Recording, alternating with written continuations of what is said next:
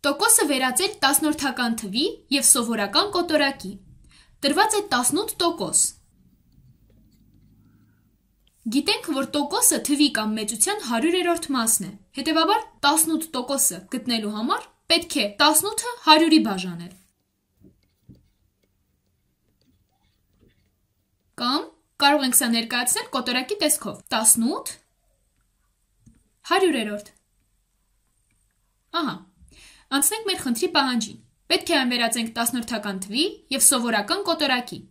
Առաջարկում եմ սկզբում վերածել սովորական կոտորակի։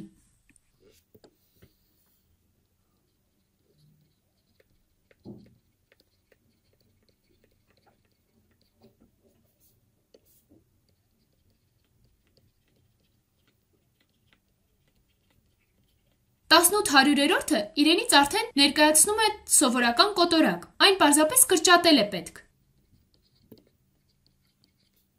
Կրճատում ենք երկուսով։ Քանի որ 18-ի և 100-ի ամենամեծ ընդհանուր բաժանարարը երկուսն է, ստացանք 9 50-երորդ։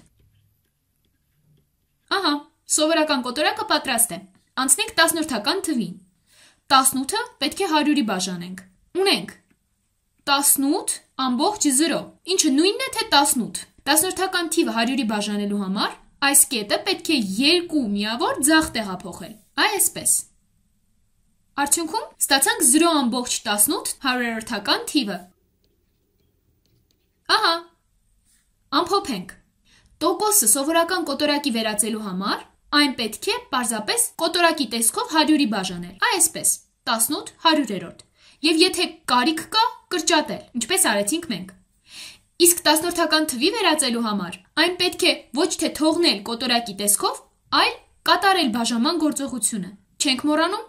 որ 18-ական թվի այս կետը 100-ի բաժանելիս պետք է 2 միավոր ցախ տեղափոխել։